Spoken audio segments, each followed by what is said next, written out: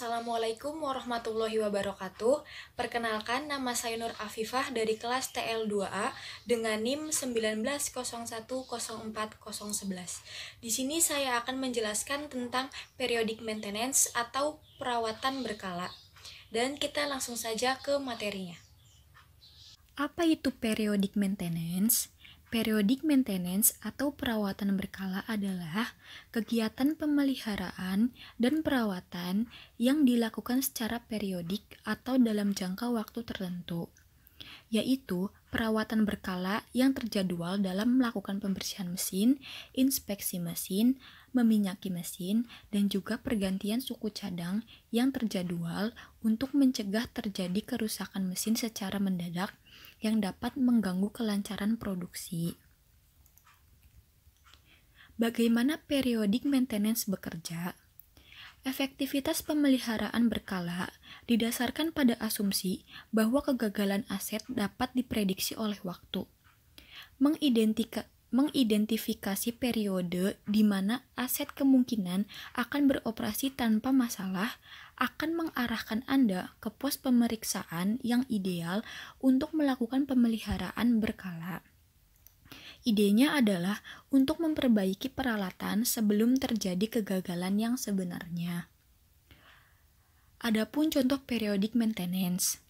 Aplikasi industri pemeliharaan berbasis waktu biasanya memecahkan masalah penggantian dan perbaikan penggantian. Contohnya termasuk mengganti minyak pelumas, memeriksa gemuk bantalan, mengganti elemen filter, membersihkan korosi, dan memeriksa pengukur tekanan atau suhu.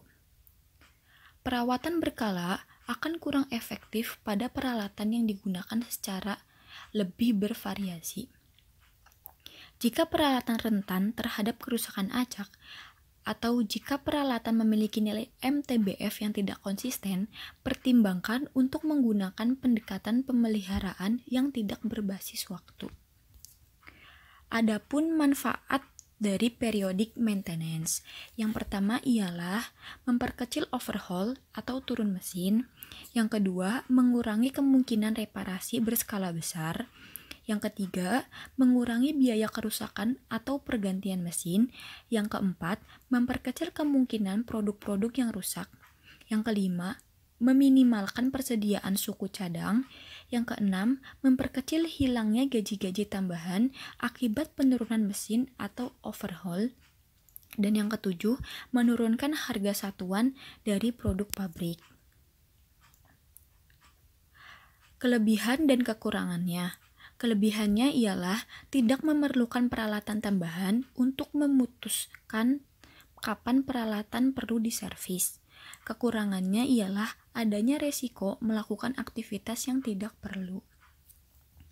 Kesimpulannya adalah pemeliharaan berkala atau berbasis waktu mengasumsikan bahwa kerusakan peralatan dapat diprediksi dari waktu ke waktu. Ini adalah strategi pemeliharaan yang dapat diterapkan pada peralatan yang memiliki masa pakai yang dapat diperkirakan berdasarkan data historis atau spesifikasi pabrikan. Aset yang lebih rentan terhadap kegagalan acak cenderung tidak mendapatkan keuntungan dari pemeliharaan berkala. Adapun poin pentingnya, yang pertama, Kegiatan pemeliharaan berkala dilakukan berdasarkan interval waktu yang ditetapkan, misalnya mingguan, bulanan, dan lain-lain. Yang kedua, metrik seperti waktu rata-rata antara kegagalan atau MTBF dapat membantu menentukan apakah pemeliharaan berkala dapat, dapat diterapkan. Dan yang ketiga, pemeliharaan berkala tidak dapat mengatasi kerusakan yang disebabkan oleh kejadian acak. Yang terakhir, asumsi dengan pemeliharaan berkala adalah bahwa kerusakan dapat diprediksi oleh waktu.